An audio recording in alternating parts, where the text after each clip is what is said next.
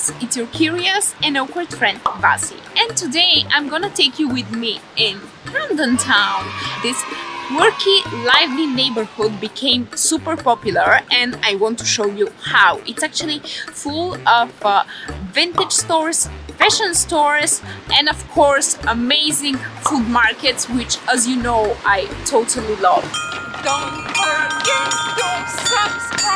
And guys, we have quite a lot to cover in this video. So, first of all, I'm going to tell you why you should go to Camden Town, how can you get there, give you a little bit of a history and background of the neighborhood, tell you what are the 10 best things to do and see in there, going to give you some suggestions on places where you should eat and where you should not eat and I literally learned this from my experience because I bought food from three different places in Camden and in the end I also do a little taste test for you and I also review it so stay tuned for that. I'm also going to give you very useful and practical tips when visiting Camden. Grab a bevy and let's get into the video. And just for your reference, I'm filming this in January 2021 when we are in tier 4 at the moment, so the market was closed except from the food market and as you can see there aren't many tourists, it was rainy and guys I still wanted to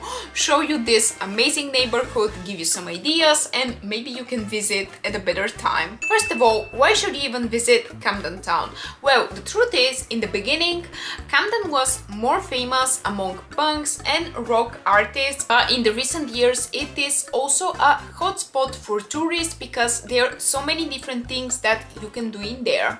Of course, you can listen to great live music. There is an amazing and lively nightlife, maybe not exactly in the past year. It's a super cool spot and uh, there are also lots of pubs.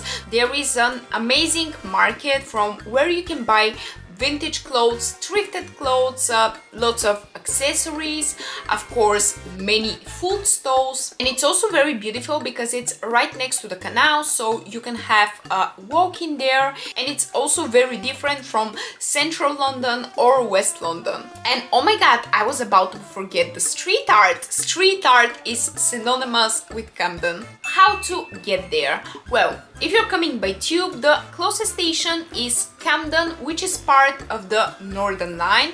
If you're coming by bus, then you can take number 24, 29 or 134. And if you're coming by train, the closest station is St. Pancras. And if you're coming by car, St. Pancras will also be the best place for you to park. And let me give you a little bit of a history and background. Actually, you might be surprised, but until the 800s, this area was used mostly for agricultural and industrial purposes. It wasn't until the 1970s when these deserted industrial buildings were sublet to workshop owners and the weekend market was also soon established.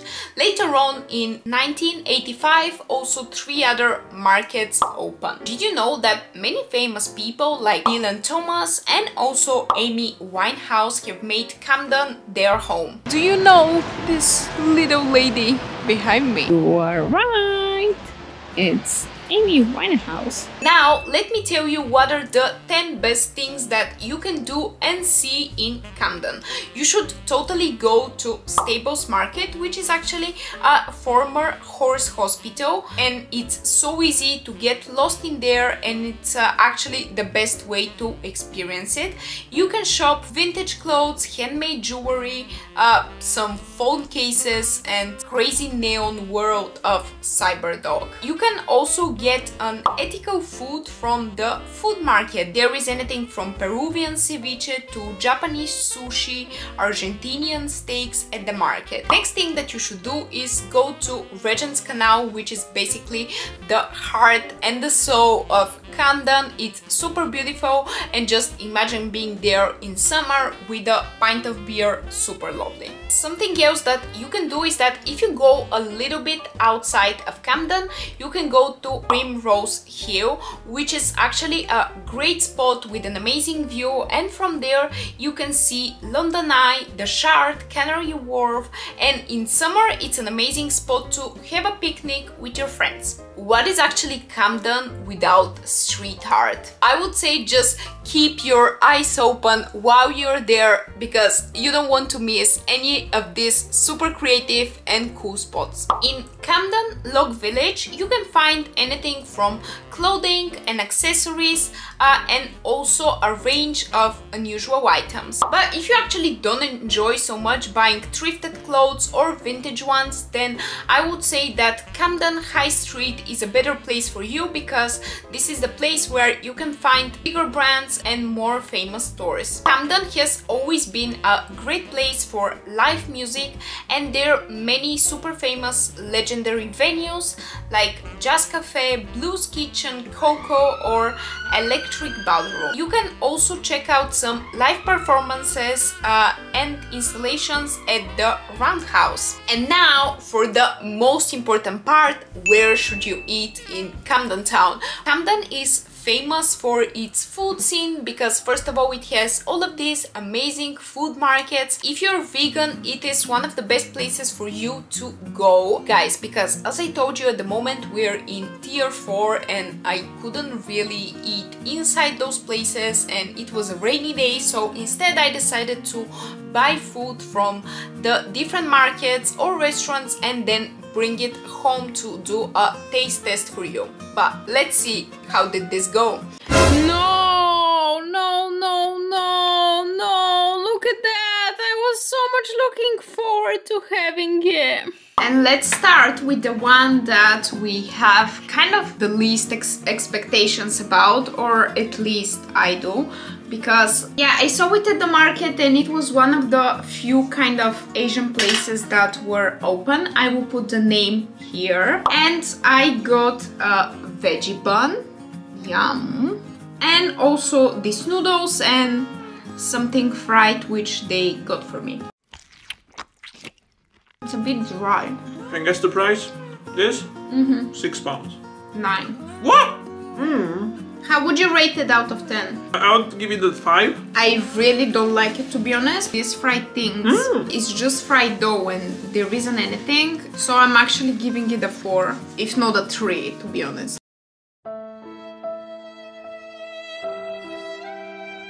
The saddest, saddest thing in here was this, which was supposed to be a hummus plate inside with a shakshuka salad, which you're supposed to put inside this and pita.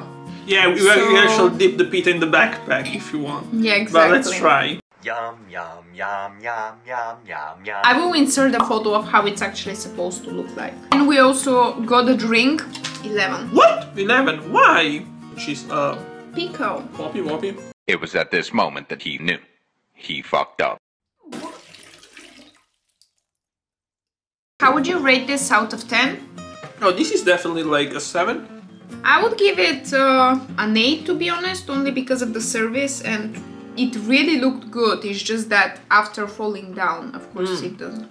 Sunitas for an amazing curry magic falafel, which you can also find at the market. Lord of Poke, I'm sorry if I'm not pronouncing this right. Chin Chin Labs from where you can get one of these super Instagrammable ice creams. Cheese Wheel, which you might have also seen on social media because of its growing popularity.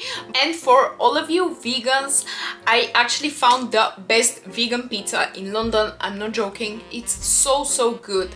It's called Purezza and uh, it is a completely plant-based sourdough pizzeria. And you know, actually Ben is Italian, so he knows what is a good pizza. So I decided to bring it home and not tell him that it was actually vegan. And this was his reaction.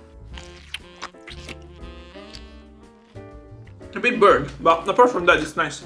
Because I added the artichoke, this one costed uh, 14 pounds. Alright. How would you rate it out of 10? Mm. 8.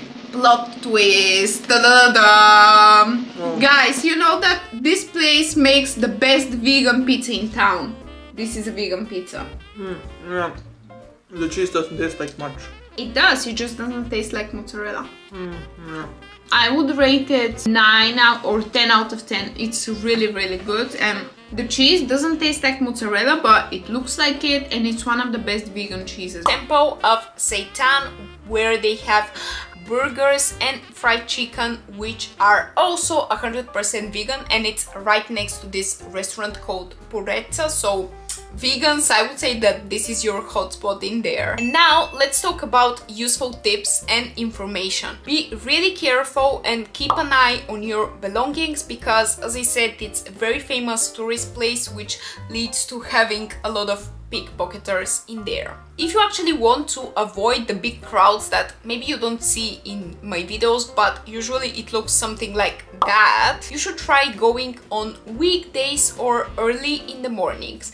This tip maybe I have already told you in my Notting Hill video but guys you should totally be careful because some of the places are trying to rip off tourists so always try and make a great bargain before you go you should definitely check out restaurants and the best places to eat because as you saw also in the one that I randomly chose it definitely wasn't the best option and I would say it was also kind of a rip-off so I really don't want you to waste your money.